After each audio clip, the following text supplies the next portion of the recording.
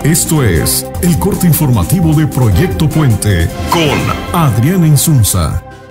Feliz inicio de semana para todos por parte del equipo de Proyecto Puente. Es momento de conocer lo mejor de hoy en nuestro noticiero.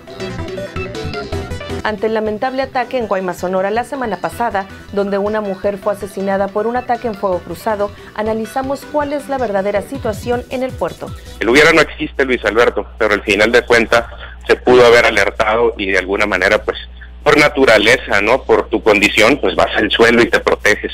De, de otra manera, pues, creo que fue muy difícil y muy complicado y, y pues lamentable eh, la situación de Marcela, pero también cinco impactos, no fue uno, no fue una perdida, no fue en un órgano vital que dijeras, bueno, lamentablemente, cinco impactos.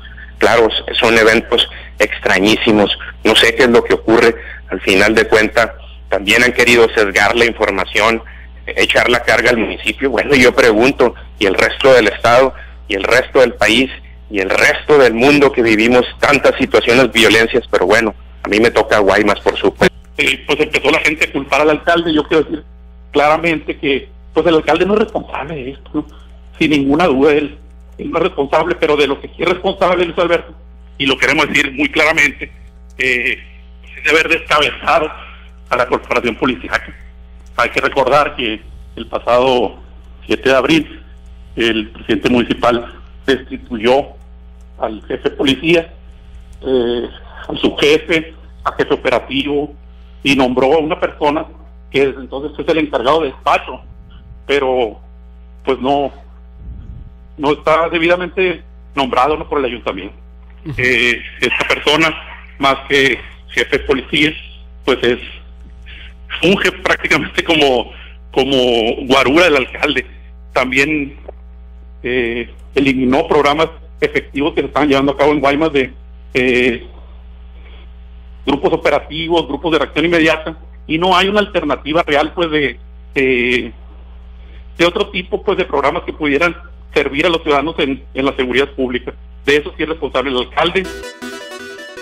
Al llegar Manuel Ignacio Maloro Acosta a su primer año como presidente municipal en Hermosillo, los expertos calificaron sus acciones en nuestra mesa de análisis. Y lo que vemos es que no está muy conforme la ciudadanía en algunos rubros que tienen que ver con los servicios públicos. Y eh, me parece que en el discurso que él hace y con el cual se introduce hacer el informe, creo que le dedica muchísimo tiempo al gobierno anterior. Yo le daría una calificación aprobatoria, pero sujeta a mejoramiento en muchas áreas. ¿no? Y voy a hablar en especial de seguridad pública, que es una de las más sensibles.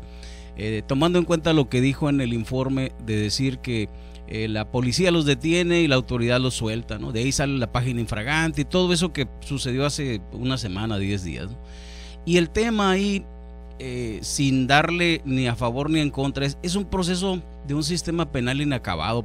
Lo bueno, yo veo un alcalde que ha tenido una eh, política de respeto a la ciudadanía que me parece muy interesante ha comenzado a dar lugar a que surjan programas de participación ciudadana y está comenzando a dar lugar a que también se desarrollen herramientas de observación ciudadana. Lo horroroso, todos los municipios padecen un serio problema de recursos, el orden fiscal y el orden de distribución del ingreso es muy injusto con los municipios, aunque también los municipios, no nada más este, sino todos, son a veces barriles sin fondo por los temas de regulación y corrupción. tomo dos palabras, este, inclusión y vinculación que decía ahorita Aquiles, del ciudadano. Eh, tenemos eh, una ley de participación ciudadana, eh, que es una letra, que es letra muerta. Sí, lo estuvo pautando bastante Maloro Acosta en Plaxmas, en, en Twitter, en Facebook, que iba a hacer algo por la participación ciudadana. Y vemos que hasta el momento en Cabildo este, yace ahí casi muerta un reglamento de participación ciudadana. Existe un reglamento eh, de participación ciudadana, pero tendrá, yo creo que tendrá alrededor de unos ocho años, nueve años, que no está acorde, no está armonizada a la ley de participación ciudadana.